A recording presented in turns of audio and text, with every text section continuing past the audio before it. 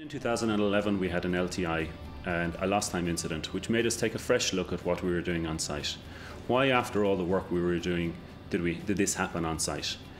We brought in SeaChange to help us find this missing piece and we very quickly learned that we were working very hard to fix a lot of the unsafe conditions on site but we were missing the human element. We were missing people and behaviour.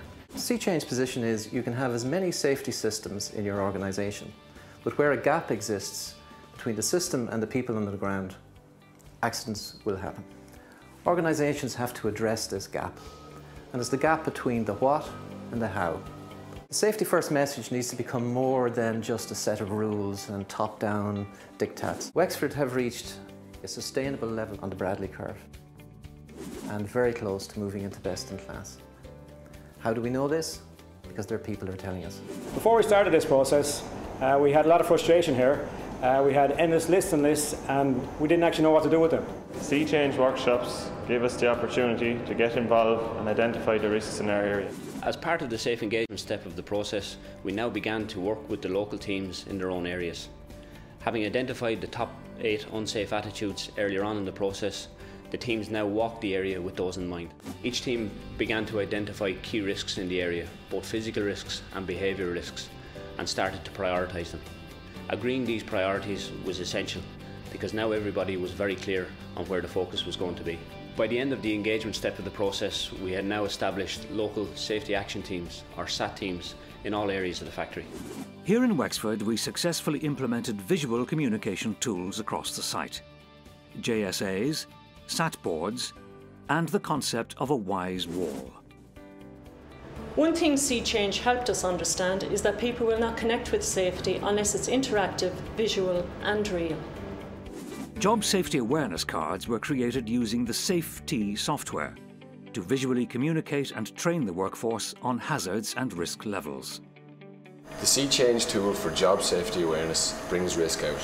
It visualises risk and best practice in our area. Safe routines were established to get consistency across all shifts. This keeps the system alive and relevant. 12 local safety action teams, SAT teams, were formed across the entire factory to manage and own safety within their area. There are monthly meetings which are great where we can track and prioritise things that have happened during the month. We learned how to use more proactive standards and measures for safety. Standards reflecting people's involvement and quality of routines to add to their existing near-miss and incident measures.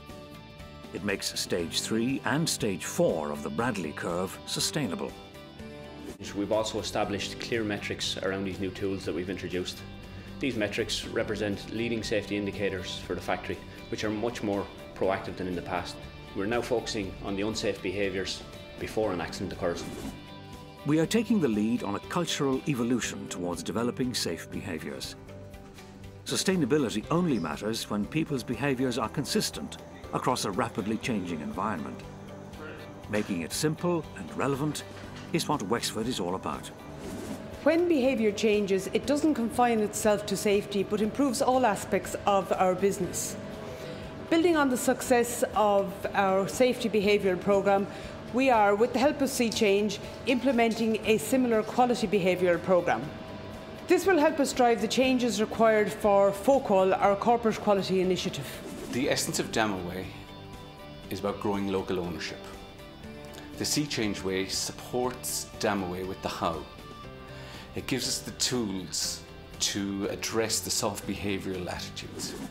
Before we introduced the routines around the safety action teams and the SAT board, it was very difficult to communicate, for example, a near miss across the four shifts.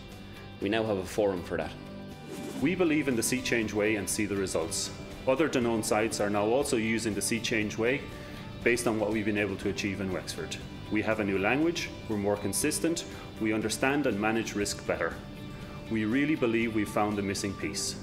We've overcome structural challenges in communication by implementing the SeaChange safety tools.